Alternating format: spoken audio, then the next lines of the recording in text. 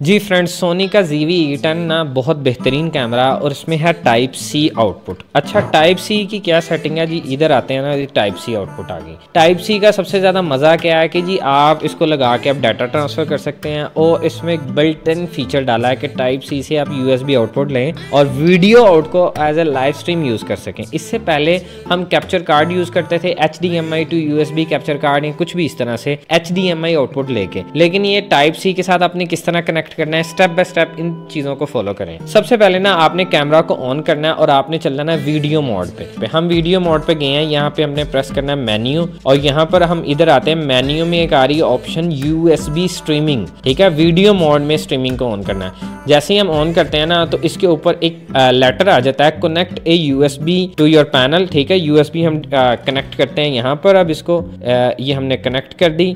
अब इसके अगर आप वैसे यूएसबी कनेक्ट करेंगे तो वो स्ट्रीमिंग पे नहीं जाएगा। अच्छा जी, अब स्ट्रीमिंग पे चले गया है।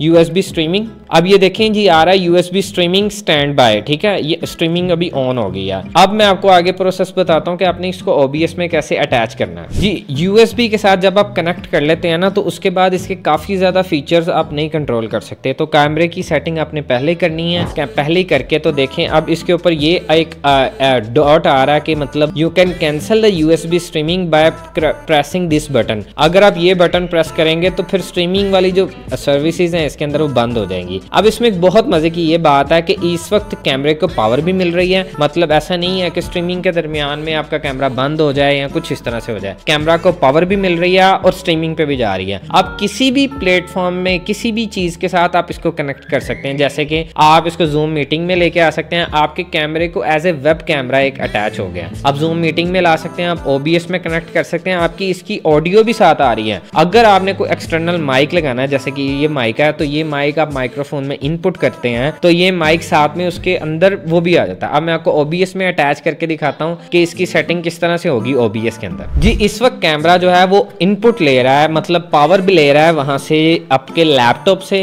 आपके जो भी डिवाइस मैकबुक है, कोई भी है, ये उससे पावर ले रहा है। अब हम ओबीएस में आते हैं तो ओबीएस पे इधर क्लिक करते हैं तो ये देखें क्लिक करते हैं के बाद हम यहाँ से सेलेक्ट करते हैं वीडियो कैप्चर डिवाइस यहाँ पर हम आते हैं तो ये देखें, इसकी डिवाइस जैसे हम ओके करते हैं तो ओके करने के बाद यहाँ पर हमारे पास ये सारा। एक मेरा फ्रंट कैम आ गया। हेलो हेलो हेलो अच्छा दूसरा यहाँ G V E ten camera आ गया। ठीक है यहाँ पर हम प्रेस करते हैं। तो एक कैमरा जो है इस वक्त ये कैमरा आ रहा है नज़र आपको ये देखें।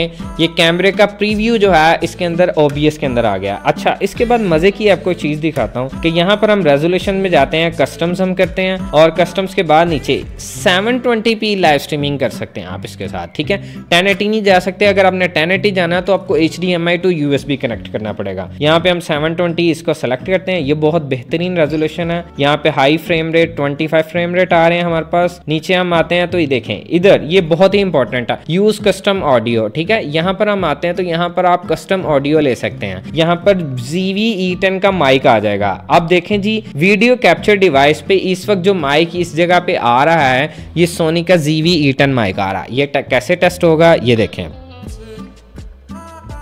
अब मैं माइक के ऊपर प्रेस कर रहा हूँ कैमरा के ऊपर तो वो उसके ऊपर वहाँ से वीडियो आ रही है और ये आ रहा है यहाँ से इस तरह से। अब ये देखें, ये माइक आ रहा है।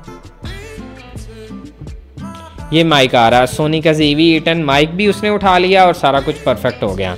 वीडियो भी बड़ी बेहतरीन मतलब जो कि भी कोई वीडियो आपने लाइव स्ट्रीम करनी है तो आप बड़े अच्छे तरीके से उसको लाइव स्ट्रीम कर सकते हैं। जैसे कि ये इस तरफ़ नज़र आ रहा है, इस तरफ़ मेरा फेस आ रहा है और यहाँ से मैं टोटल अपनी वीडियो के कंट्रोल्स भी कुछ थोड़े से मैं कर सकता हूँ अपनी वीडियो में। और ये देखें कितना अच्छा मतलब प्रीव्यू आ रहा है मेरा कैमरे से। और मैं इतनी हाई फाई वीडियो को मतलब इतना अच्छा मैं प्रिंट को अपना लाइव स्ट्रीम में ले सकता हूँ। आपको वेब की ज़रूरत नहीं, आपकी जूम मीटिंग्स में भी आपके साथ है और हर चीज़ में आपके साथ है। यहाँ से इस वक्त ये पावर भी ले रहा है और साथ में लाइव स्ट्रीम भी हो रहा। है आई होप आपको बड़ी अच्छी लगी होगी ये टिप सोनी का जी वी को लाइव स्ट्रीम कैसे करना है, कोई इनकोडर की ज़रूरत नहीं है।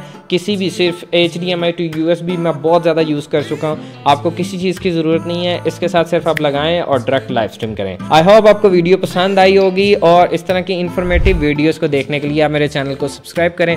See you in the next video bye